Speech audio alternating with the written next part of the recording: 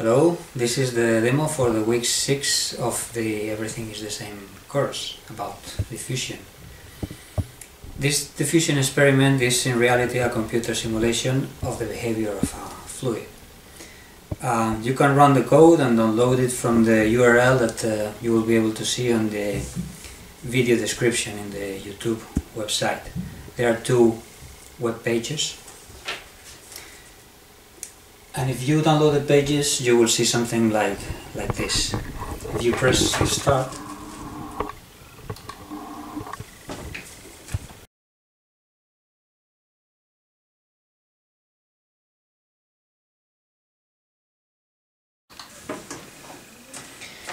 Each green pixel represents a portion of the fluid and for every time step a random amount of fluid proportional to the concentration is moved to each one of the neighbor pixels.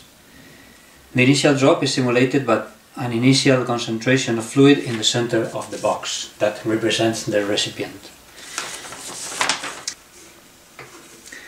As you can see, the Gaussian distribution emerges naturally as a result of this random process. The numbers at the bottom are the standard deviations calculated at three, or in this case, at four different times.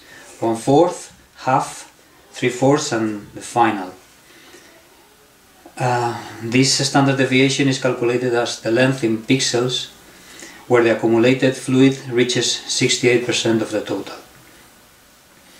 In the final line, the standard distribution is divided by the square root of time and this is expected to be constant if the distribution is uh, as calculated uh, theoretically and you can see that the results are quite constant from 106 to, to 94. With the computer we can perform an experiment with an input which is different than a single drop of fluid. For instance, a constant source starting at t equal to 0 and for this you can use the other web page.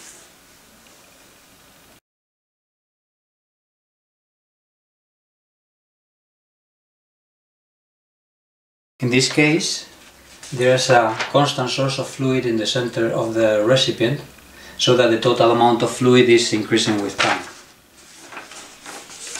Now we're going to calculate what is the analytical solution for this uh, constant source uh, distribution. To get the analytical solution we can use the superposition principle and convolution.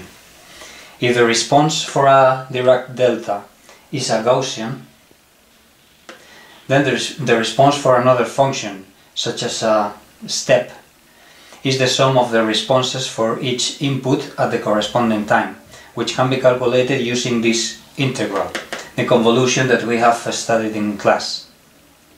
In order to solve this uh, integral, we have to make this change of variable. And doing this, it can be shown that the solution can be expressed like this which is uh, what is called the upper incomplete gamma function for zero and this coefficient. This is indeed a very exotic function. For instance, MATLAB is unable to compute it uh, correctly for, for zero and it can be shown that the concentration uh, at the origin in R equal to zero is always infinite. In the simulation, the concentration at the origin does not go to infinite, but it takes a very high value. Here the standard deviation calculated as in the previous uh, page and dividing by the square root of time does not give a constant value as a result. Uh, this is because this distribution in fact is not a, is not a Gaussian, it's uh, an gamma upper incomplete uh, function. Okay, and that's all for now. As a curiosity, this video was recorded while the uh, final of the European match was uh, taking place and this is why you have heard all this uh, screaming of some girls uh, as a background. Hi.